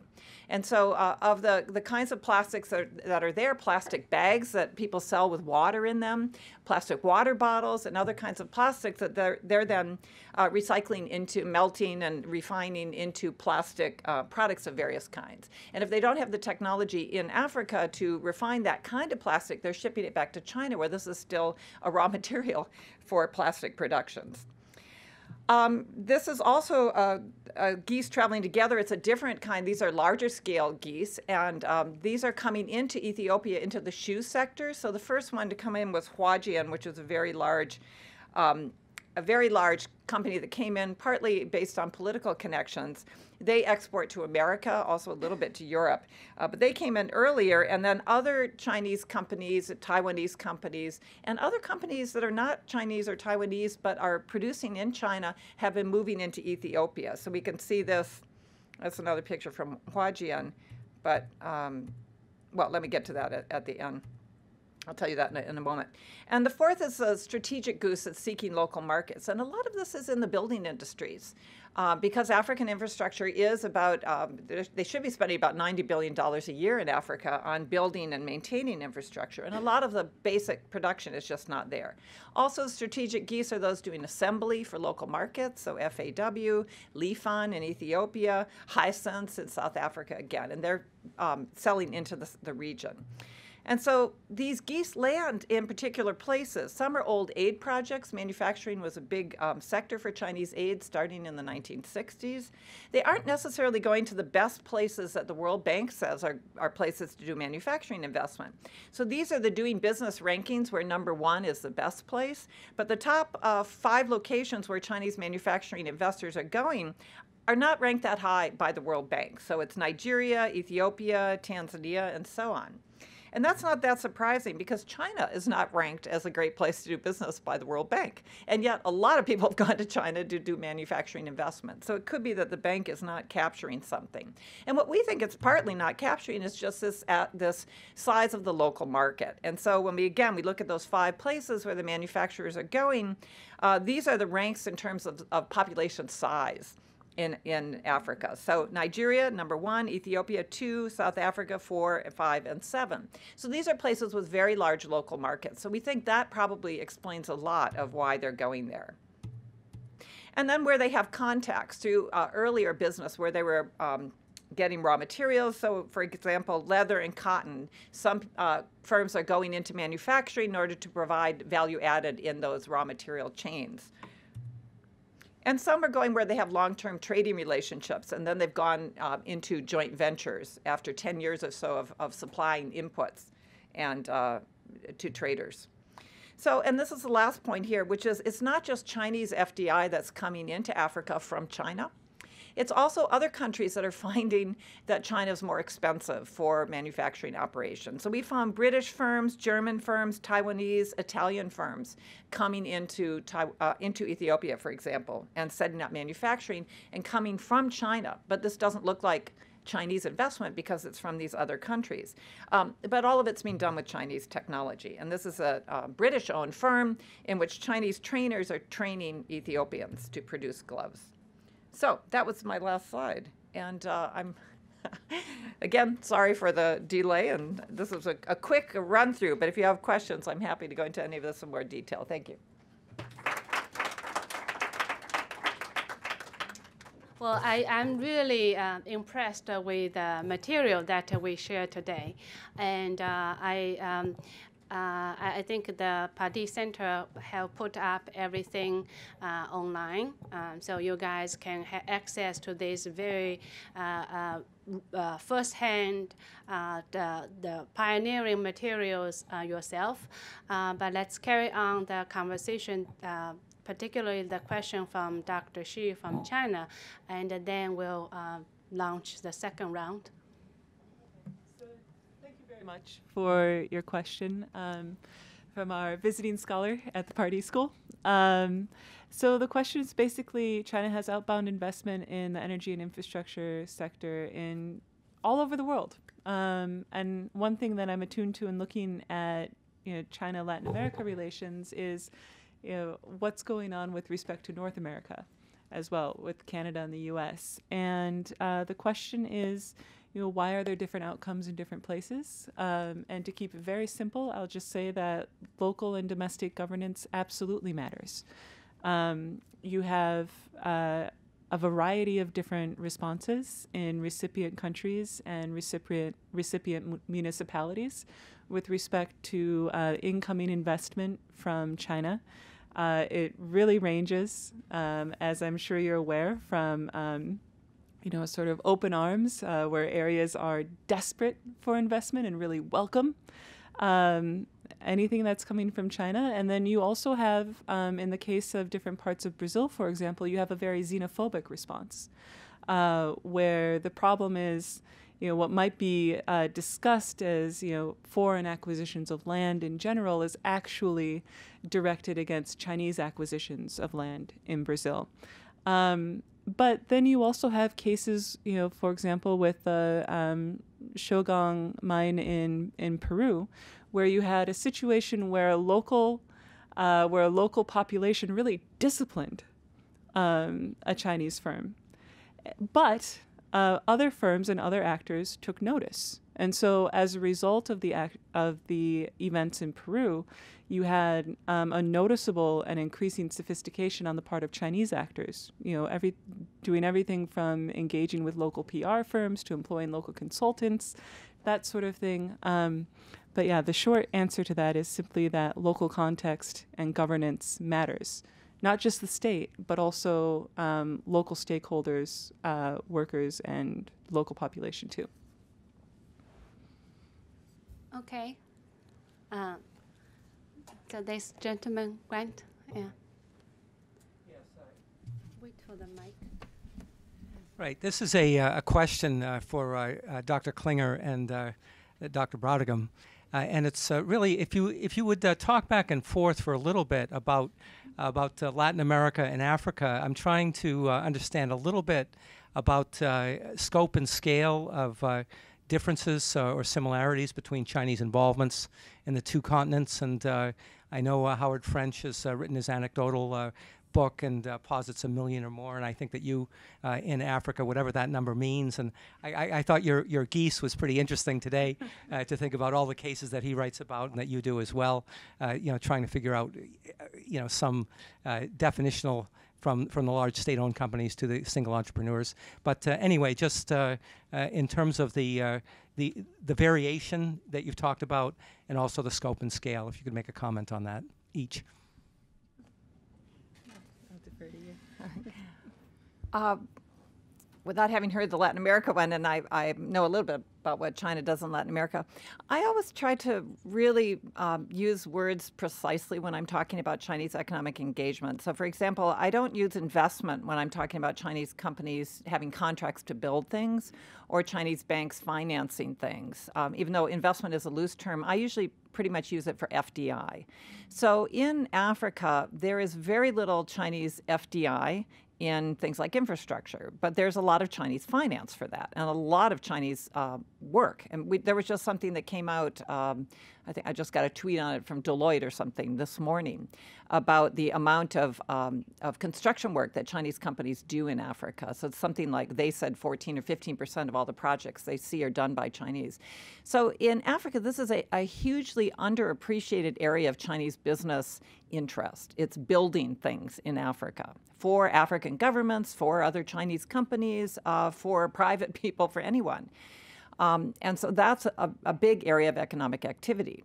However, it's not investment. So when you're looking at investment, um, you're looking at a case where the, the largest investors are the SOEs, um, but the largest number of investors are private. So the biggest projects are SOEs, that, the, but there are many, many more private projects. And they're very hard to get a handle on unless you're actually doing field work because nobody's tracking this. They don't get MOFCOM approval. Um, my sense is in terms of of the, number of Chinese in Africa that neither Howard nor anyone really has a clue. Um, but I think the numbers, uh, there tends to be this thing there's a million Chinese in Africa, and Howard said that many people have been saying that. But to put that into context, in Japan, the official figures from the immigration authorities are over between 600 and 700,000 Chinese are in Japan. That's one country. So um, there's no place in Africa, with maybe the exception of South Africa, that's anywhere near that that number of, of Chinese. So we're talking about in 54 countries. Um, you're finding there's a lot more now than there used to be, but there's there's nowhere near this uh, this idea that that Africa is being taken over by Chinese migrants. Um, so we've got what the Chinese are doing. They're in the, the infrastructure sector. It's a bigger sector than mining. It's a bigger sector than uh, certainly agriculture. I just published a book on that where there's almost no agricultural investment. It's a bigger sector than manufacturing. Um, it's but it's not FDI. It's just a, a big sector of, of economic profit, profitable economic activity is is building things. And I think in, in Latin America there's um, it's, it's just a different picture because the Chinese have been building things in Africa since about 1961, and they've been doing it on a profitable basis for others since the end of 1978. This is one of the first places to do uh, outward economic uh, profit-driven activity after the transitions and reforms in China at the end of the 19 of 1978 was was Africa, where Chinese firms are already there and they started winning contracts. So let me stop there. Now I'm obviously wanting to take over since I had so little time earlier. But Uh, thanks. Um, so when I was um, when I was talking about uh, China's investment in Latin America, I wasn't being as precise as um, Dr. Bräutigam. I was speaking primarily about uh, loans and um, investment in infrastructure coming from China's policy banks. Uh, that's an entirely different picture from what's happening with uh, firms, state-owned enterprises, um, private companies, et cetera. Um, but there are some interesting um, differences, and particularly when, when we think about the historical linkages uh, between China and Latin America and Caribbean on one hand, and China and Africa on the other. Um, and one of them is, you know, these these long-term histories of labor migration um, between China's eastern seaboard and Central America and the Caribbean, um, going back to the late 1800s, but then also accelerating um, after the 1970s and the 1980s, where you had um, various labor disputes um, in free trade zones in Caribbean countries being resolved by bringing in um, workers from China's eastern seaboard and Taiwan. And that's a, a really different sort of dynamic um, of uh, historical patterns of migration that is distinct to um, to Latin America and Caribbean that you might really see elsewhere in Southeast Asia um, or in South Asian states in some cases. Um, but also, um, I think another interesting interesting aspect to look at is that um, you have on one hand you have you know China and Latin America, China and Africa. But then in Africa, you have certain Latin American countries um, either partnering with or competing with um, entities from China, particularly in the agricultural sector. So you have um, in places like Angola and Mozambique, you have um, you have Brazilian firms engaging in large-scale agribusiness projects. You also have Chinese firms engaging in large-scale agribusiness um, projects, and that's quite different from what's going on in Latin America, where it's much more of a north-south, North America to South America. Um, Europe to South America or China to South America dynamic. You don't necessarily have um, actors or enterprises from African countries um, engaging in large scale agribusiness schemes in South America. So that's, I suppose, that's just a potpourri of the differences. Can I just uh, follow up on that with uh, one quick thing or two quick things? One is that um, you might be, you probably don't know this, but Mauritius is actually very uh, similar to what you're describing for the Caribbean. In many ways, it's like a Caribbean country, but lots of imports of Chinese labor um, into the textile industry in Mauritius for quite a long time. That's been happening since the, the 80s, pretty much. Mm. Um, and uh, and then also there is a Chinese diaspora in southern Africa, which is dates back 100 years, but has also been uh, Taiwanese and, and, Hong Kong Chinese in South Africa, even Mauritius very definitely, and then also in Madagascar, even in Mozambique and Zimbabwe. Um, and then uh, about the land investments, in Mozambique, there really hasn't been very much Brazilian investment. There's been a lot of discussion about it, but very little has actually gone forward. And there's not been very much. There has. There's one big Chinese project which will be 20,000 hectares at some someday, but it isn't yet. Um, and then in Angola, I don't know about what's happening with Brazil there, but the Chinese um, projects, agricultural projects there are not FDI. They are Angolan government projects that the Chinese are building for them. Mm-hmm. So I don't know what the Brazilian firms are doing in Angola, though. Well, um, uh, I actually I, I, want to add my my points here.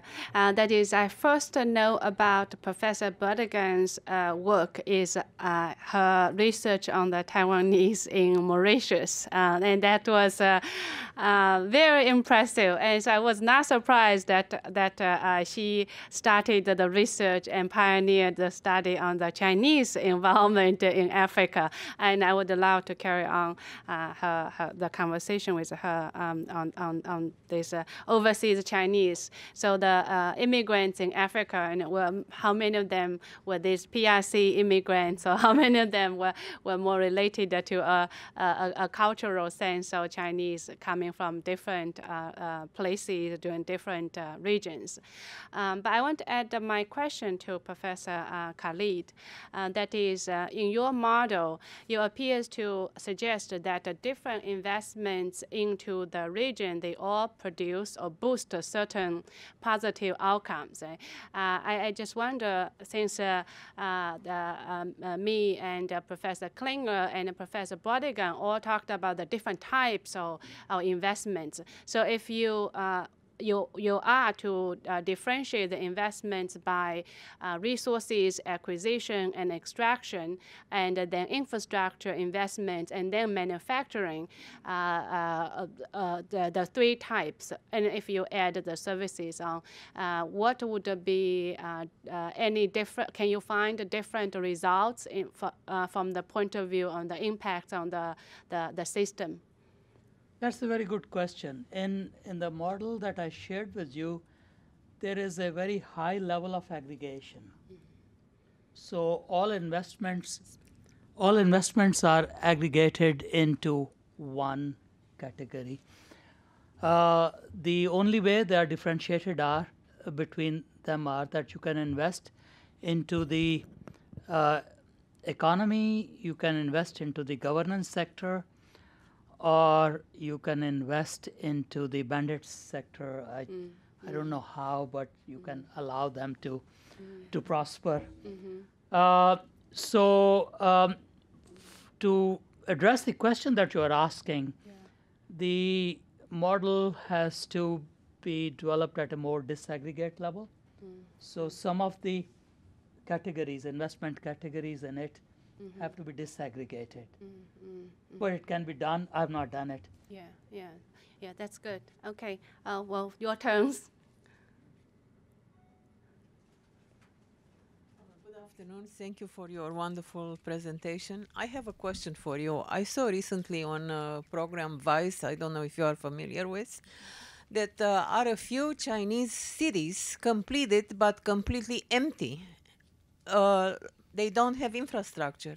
How come that they diverse and they go to Africa, to South America, to Australia, and they do not deal with the local issue? They can employ a lot of people they can generate a lot of taxes and i think on the general people would feel a lot better that would live in more modern conditions because building those cities they displaced a lot of local people that you know were built with a lot of misery and you know grief and whatever so what is the explanation to that thank you Do you want to talk about the case in Angola? I can do it, but she's talking about in China, though, isn't she? Are you referring to the the ghost towns in China or overseas?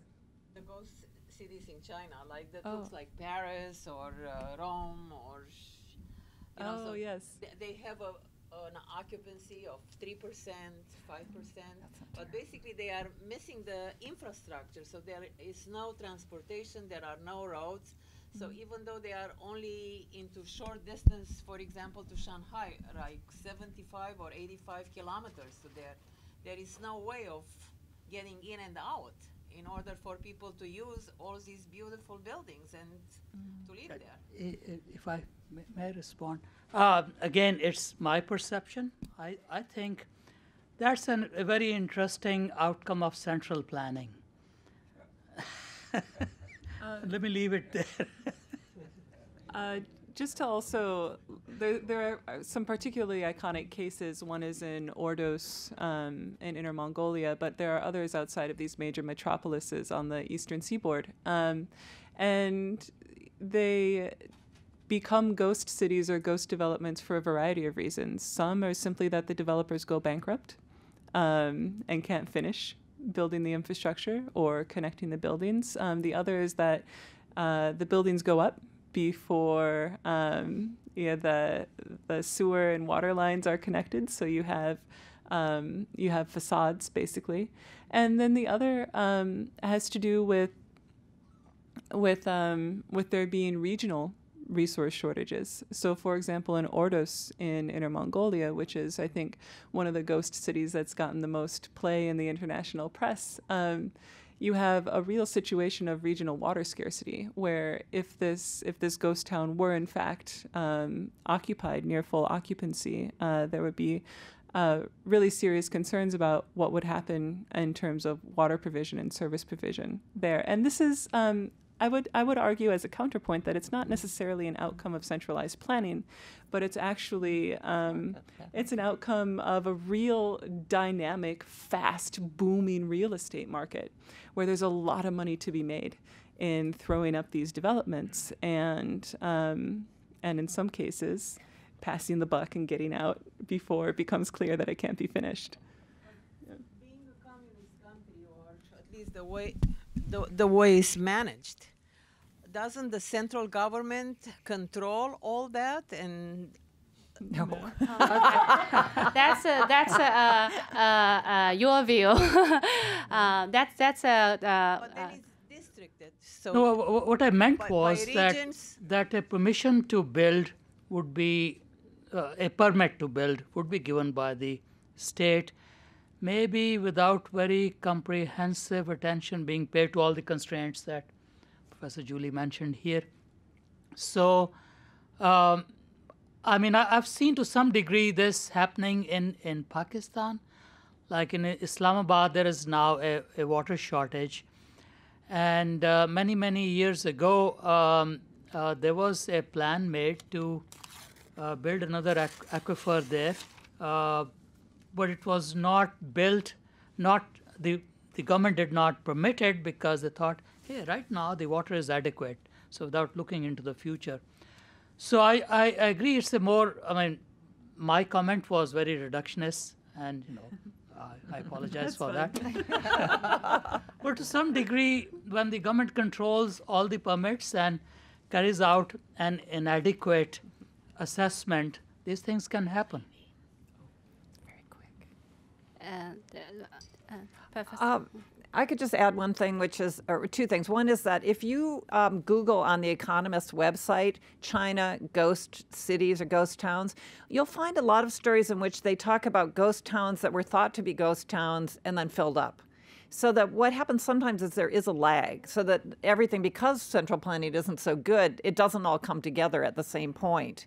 Um, but that in oftentimes these purported ghost towns do end up filling. And there's a, a case in Angola where there was a Chinese built, it was Chinese finance and Chinese built city like this, a satellite city outside of Luanda. And everyone said when it was first finished, it's a, it's a ghost town. There's nobody living there. I mean, it took a while to get the whole infrastructure. It wasn't just water and all of this, which pretty much was there, but it was how to finance, um, like a mortgage system, so that people could buy these apartments and setting that up. And once that was set up, they filled pretty quickly. So if you look on my blog, uh, you can find stories about this. Um, ghost town and how it changed over time from that perception to one in which it was is a vibrant city now. Now, so, sometimes this can happen in market economies, and it's it's a manifestation of investment bubble. Uh, back in 1996, 97, uh, Thailand, there was a big construction boom in Thailand. I, I lived in Thailand at that time. And uh, there were ghost towns, like brand new, swanky cities, empty, tall buildings, no occupancy. A lot of the companies went bankrupt uh, because, well, there was this, this growth and speculative building which overbuilt.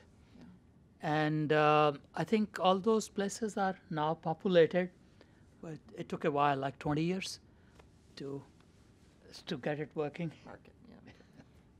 yeah, I, I So just. markets can create these problems too. Yeah, I, I think uh, um, uh, myself, I traveled along the Silk Road, the parts in China from coastal to central, and uh, you do see some infrastructure, very nice places uh, that are less occupied, uh, and the the market itself didn't catch up with uh, with with the construction business and real estate. Uh, I agree with all all their comments that is uh, the the overheated real estate market. So lots of the actors are private actors, and when the real estate bubble boosted, many of the the the the, the losers are also private actors. So they, it's a, the the state, the the central state, the policy may complicated uh, the the situation because in 2008 there was uh, the stimulus plan, and what's the best way to disperse the the stimulus plan that is the the lending to to to build and to uh, conduct real estate construction. But now there's also a, a call within China to convert many of these. Um, facilities into affordable housing. Uh, they haven't done, uh, but uh, so some economists are advocating this. So if these are converted into affordable housing, so that if the government just uh, uh, buy back these uh, uh, empty houses and turn them into for social programs, uh, that's a good uh, use as well. Uh, so I, I, I would um, encourage you to look deeper and see more places. Um, okay, so any other questions? Oh, yeah. Uh, I- identify yourself, please. Hi, my name is Zi Zhang. I'm a graduate student at the Pardee School of Global Study. I'm a double master stu- uh, gra- uh, degree student, one master in global development policy and a master of international relation. Uh, I have two comments. First, I want um, I want to talk about the New Silk Road. Um, uh, when, when we just saw the picture, there are two start points of the uh, Silk Road. One in Xi'an in the west northwest China, and uh, one is the, the is the Fuzhou, Fujian uh, province in the southeast China. What the internal uh, connection because these two area is very have a very close connection with current Chinese president because those the Shaanxi province is the hometown of the ch- current Chinese president, and the Fujian Fuzhou province is where the current Chinese president have been the major of a governor for 10 years since 19, 1988 to 19, uh, 2007.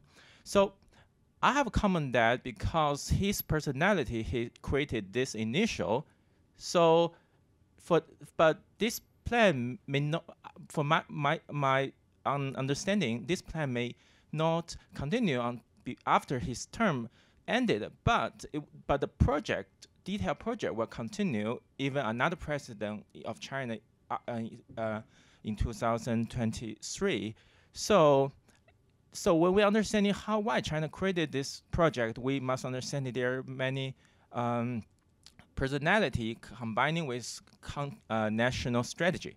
Also, I have read a book by the uh, policymaker called the Michael Pillsbury is the uh, policymaker in the U.S. Defen- Department of Defense. He have a write a book called the 100 Year Marathon. Is I think is under I, I think he's had a little un- misunderstanding. This 100 years marathon is not compete the U.S. It's a, a domestic way for China to achieve a goal in 2049 when China's achieved 100 anniversary of its VRC uh, salary salary in maybe three, three, 30 years later. So, my, from my understanding, the New Silk Road is it is a, a international initiative, but more importantly, I think uh, even for the for the for generally, it was China still focusing domestic politics. So in order to resolve the the the the, the, the problem, seems like the, the that ladies just talk the Gold City were to resolve the domestic policy um, issues. Thank you. Um, so uh, I, I can I, I'll take this, but uh, Deborah, do you have points? Um, prof, uh, Professor Khalid, do you do you want to comment on this, or I, I can take this question? Please. Yeah. So the um, uh, the the image that I showed uh, that's uh, dated and also re- uh, mindful of the source Wall Street Journal in 2014. Uh, and most of the um, more uh, present uh, uh, maps, if you can use, that actually both the land-based and uh, maritime-based uh, would uh, end in Ningbo. So Ningbo all the way to the west and Ningbo all the way to the south. Ningbo is a city in Zhejiang, and as you, as a, uh conspiracy theorist, can also argue because uh, uh, President Xi was the uh, uh, uh, party boss of Zhejiang province as well. Um, but but I, I think uh, um, so. You are actually asking in the individual roles versus regional and uh, global uh, factors of this new Silk Road. Uh, I I think um, uh, I, I I see how you argue that this might be individual uh, uh, uh, factors uh, play into the so-called uh, initiative or strategy. Um, I, I think uh, um, even it, uh, it, it- we cannot read too much into the uh, uh, his uh, uh, individual uh, preferences because if you look at uh, the Silk Roads, many of the projects, many of the initiatives were in place before the announcements. So it, it, it, it's at least more than 10 years um, that the Chinese uh, investors have been uh, doing things along the road. And if you're interested in the policy, the proximate policy causes. Uh, if you are here uh, um, in my presentation, I said the, the, the, the, the long-term uh, factors were in the background, but the proximate causes of launching these two uh, were reactive to the, the U.S. TPP, and, uh, uh, and, and that got factored into the president's policy proposal. So you can read my Asian security article and see the proxy driver of the initiative initiative. Uh, but uh, um, I, I think your observation, you're, you're, you're looking at the individual rather than regional and uh, global factors. So we'll move to this question in the back. Thank you. Oh, so, yes. uh, mm my name is Zhe, and I'm from China. Right now, I'm studying economics in CES. I'm sophomore. So um, today, like a lot of people in China actually are criticizing the Chinese foreign investment because uh, they said, okay, so um, we have so many domestic problems, but the government still insists on like you know foreign investment. Like for example, like um, in the 1960s, uh, China has um, had a very large scale of starvation, but uh, the government still insisted on you know spend money on a railroad project in Tanzania in Africa. So like uh, you know, many people don't like that, and uh, they said like uh, you know, foreign investment cannot really has nothing to do with the domestic problem, and the government should you know focus more on more on the people, but not you know people in Africa or other countries. So do you have any comments on that or?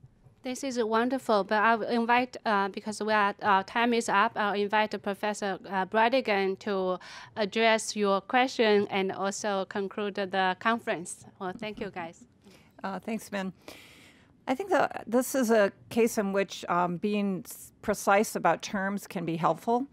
Uh, what China's doing overseas comes into a lot of different categories. Investment um, is very good for China. So if China invests profitably overseas in FDI, this will be to produce more copper, produce more oil, produce more food if it's agriculture, um, or to export China's excess capacity. You don't want more um, labor intensive jobs in China right now because you need to move up the value chain. As someone studying economics, you understand this.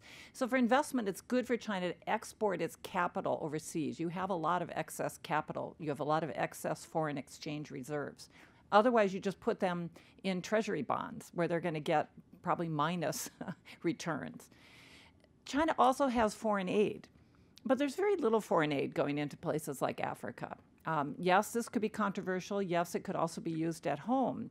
Uh, but China uses foreign aid for diplomacy and to build friendships, and these are good for China on the international stage. So, that, like many countries that are, are out there, foreign aid can help lubricate those relationships. And then China also has excess capital that it's using as loans. And so those loans are tied, by and large, to Chinese businesses doing the work.